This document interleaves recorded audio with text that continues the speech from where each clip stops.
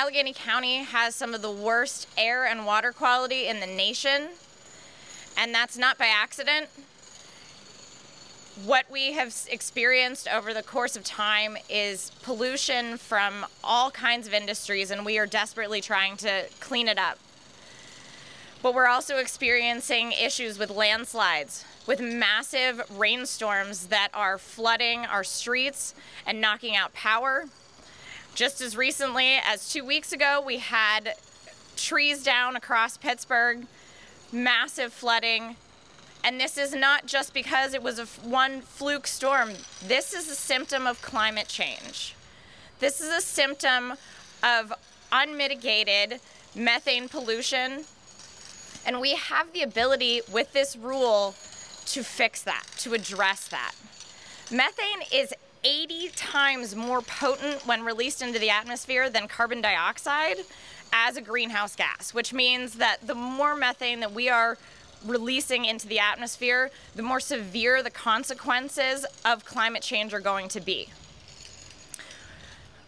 So we are asking that Governor Wolf and the DEP take this seriously because 60% of methane pollution that is released into the atmosphere doesn't come from major producing wells comes from low producing wells and we have the ability to really take seriously the ability to get this in check and close a loophole that would protect a lot of Pennsylvanians from the kind of suffering and struggles that I am seeing across my district.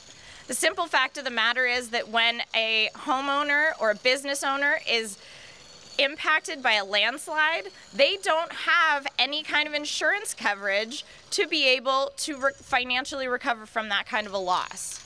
So we have to be taking seriously all of the aspects of climate change and controlling methane release is one of the major ways that we can make sure that we're controlling the spread and the development of climate change. Controlling methane by checking uh, these methane wells, this actually creates good jobs, good union jobs to be able to go out and, and check for uh, these emissions. These are companies that would hire union workers. They are family sustaining jobs. And so it is a win win. It is a win for the environment, it is a win for our communities, and it is a win for families across Pennsylvania who would have the ability to support themselves. Because let's face it, right now, coming out of the COVID 19 pandemic crisis, we need more good jobs. And this is a way that we can make that happen. And it is a way that we can make it happen while also preserving our resources for the future. I was elected in 2020 with the understanding that while my job right now is to work on our immediate problems, my job is also as a steward for the future.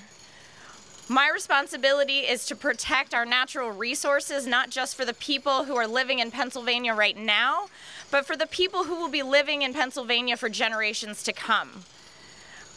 My job is to keep things as good as they are now and leave them better for the future. And this is a rule that we can use to do that.